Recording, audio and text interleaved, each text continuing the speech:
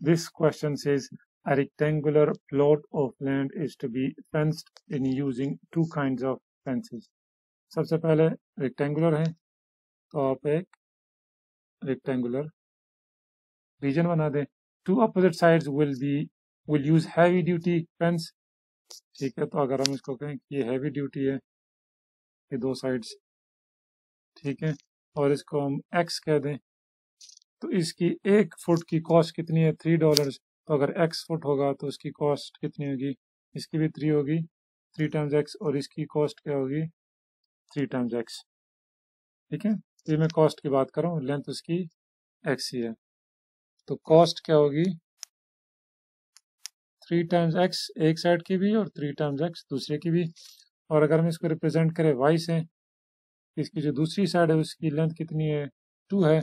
Sorry Y है तो उसकी कॉस्ट कितनी होगी? टू टाइम्स वाई और दूसरे साइड्स की भी टू टाइम्स वाई और टोटल कॉस्ट इसकी क्या आएगी?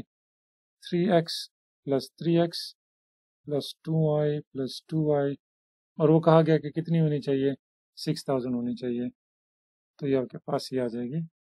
सिक्स थाउज़ेंड इनको ऐड करेंगे तो six X plus four Y ji to six thousand ठीक है?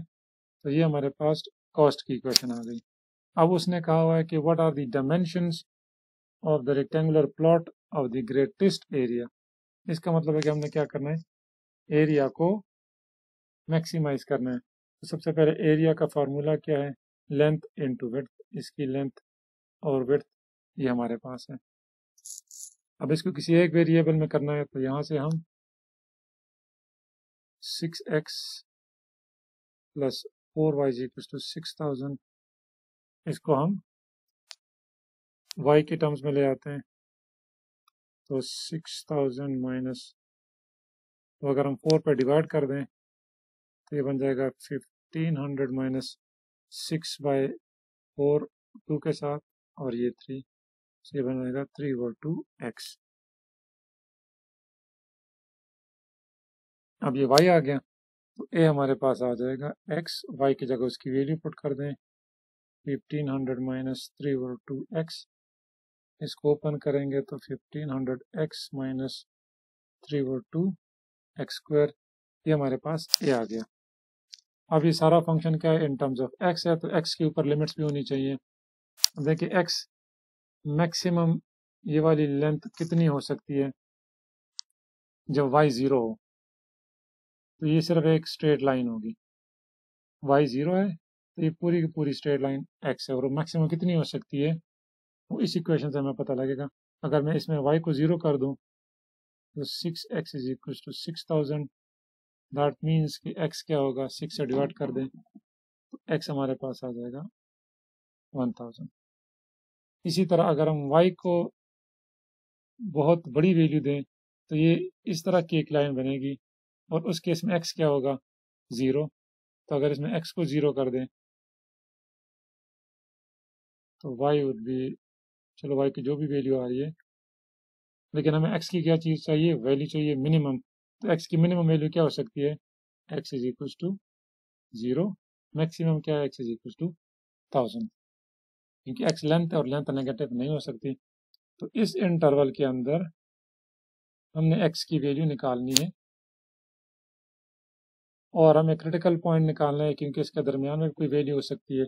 उसके लिए हम क्या करते हैं कि फ़ंक्शन का डेरिवेटिव ले लेते हैं और उसको इक्व टू ज़ीरो रख देते हैं ताकि हमारे पास क्या आ जाए? क्रिटिकल पॉइंट्स आ जाए। एक्स स्क्वायर का डेरिवेटिव ये। अब इसको इक्व टू हम ज़ीरो रख देते हैं। So fifteen hundred minus three X equal to zero three X को दूसरी साइड पे ले जाएँ। अब थ्री से डिवाइड कर दे दोनों साइड्स पे तो एक्स की वैल्यू क्या आएगी? फाइव हंड्रेड ठीक है? अब एक्स की वैल्यू फाइव हंड्रेड आ गई है। फाइव हंड्रेड बिलोंग्स टू ये इसके अंदर है।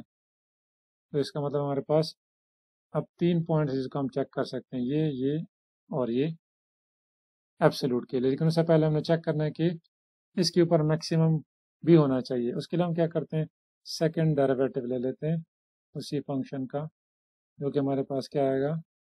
माइनस थ्री और माइनस थ्री चूँकि ये नेगेटिव है उसके अंदर एक्स है ही नहीं तो ये 500 के ऊपर भी क्या होगा? माइनस थ्री होगा which is less than zero second derivative test कहता है कि अगर किसी पॉइंट के ऊपर डबल डेरिवेटिव नेगेटिव हो तो क्या होगा?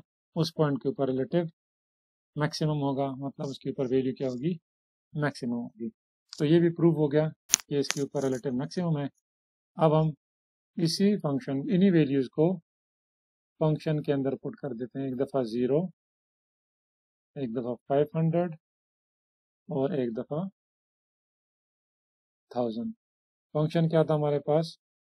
एक्स और दूसरा था five hundred minus three over two X अब इसमें एक्स की जगह पे हम ज़ीरो पुट कर दें तो ये ज़ीरो ये zero zero into anything is zero five hundred fifteen hundred minus three over two into five hundred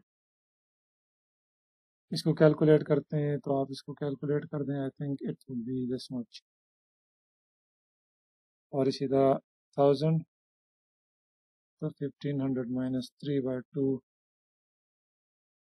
thousand ये कैंसिल होके फिर फाइव हंड्रेड आ जाता है थ्री से मल्टीप्लाई करेंगे तो वही five fifteen hundred minus fifteen hundred is zero तो यहाँ से भी आंसर ज़ीरो आ रहा है। तो अब सबसे बड़ी वैल्यू कौन सी आ रही है? ये सबसे बड़ी वैल्यू है, और ये किस पे है? जब एक्स आपके पास क्या है? फाइव हंड्रेड है। अब इसी तरह आपने फार्मूले में पुट करके six X sorry six X plus four Y is equal to if I'm not wrong 6x plus 4y is equals to 6000 इसमें x की जगह पे 500 पुट कर दें। और इसको सॉल्व करें। तो आपके पास आंसर आना चाहिए, y इज़ इक्वल टू 750 तो जब y की वैल्यू 750 हो और x 500 हो, उस वक्त हमारे पास एरिया क्या होगा? मैक्सिमम एरिया होगा।